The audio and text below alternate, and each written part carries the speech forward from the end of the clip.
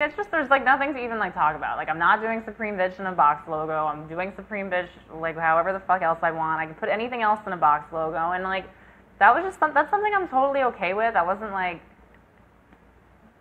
uh, you know, um, I thought that was fair, and I, you know, it's just, it's fine. You're a piece. Yeah. When you look back though, because it's been three years, do you feel Has like it been three years? well, Yeah. 2013? Uh, it feels like really just like last year, but it's yeah. crazy. Do you feel like it marked anything in streetwear? Yeah. How how so? Big time. Um, well, just the fact that it was like two people in the same like community like battling each other kind of like not even like I'm putting myself at like Supreme's level like I'm not, you know, like they've been around for like 20 something years and like obviously like they're a huge company um but you know, I think it made a lot of people um, it made a lot of people think. It seemed like for me, it was a point where streetwear got a little more I think. I think we realized that it wasn't like just like this family anymore. It's like okay, this is like some real shit. Like this is like yeah, this is like yeah, it's it's corporate. It is like it's people protecting their you know what they think is theirs. Like this is mine, you know, and it it's okay. I mean, because that, I mean, what is streetwear really? Like, I, I you know, what what what makes it? What do you think separates? I never from- even claimed to be, you know, like in streetwear, you know.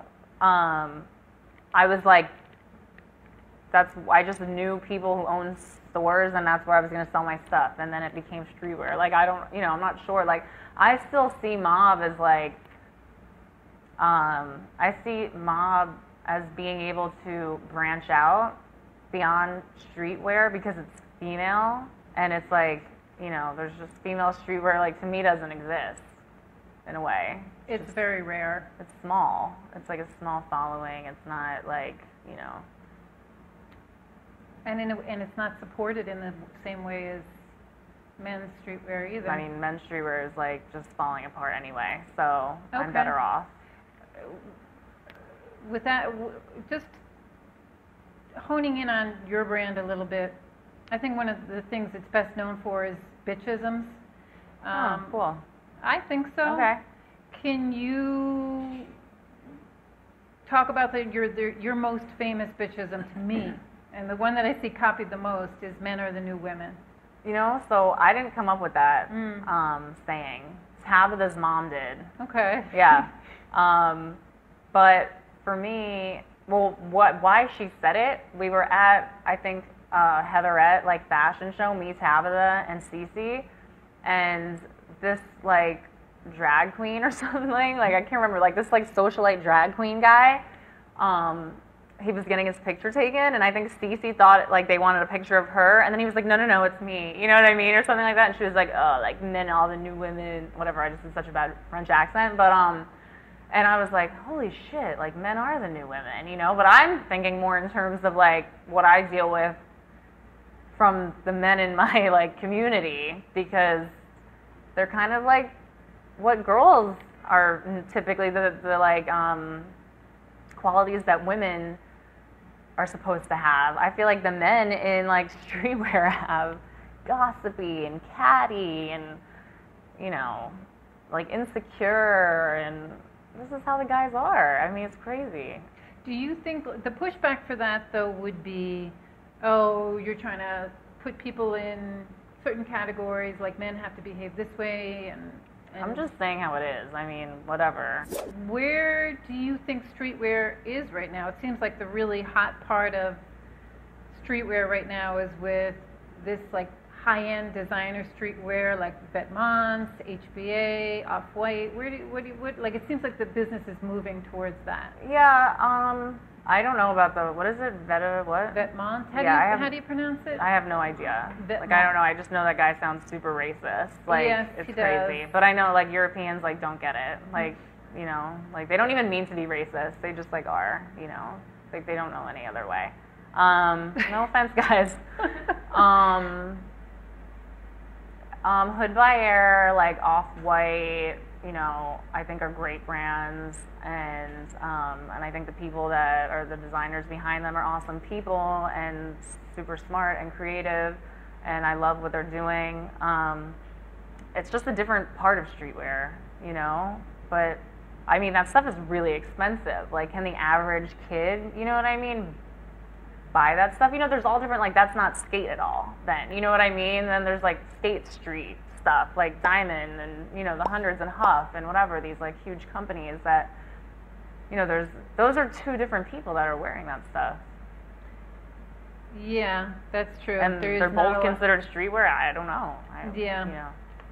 It seems like definitely we're the the category's splitting off into a lot of different things Right. for sure. Um, I want to ask you about somebody who's been in the news a lot lately that's involved with streetwear. Ian Connor. He's a streetwear stylist. He was um, he he's been accused of raping Yeah. a bunch of women. Yeah. Any, any thoughts on him and and how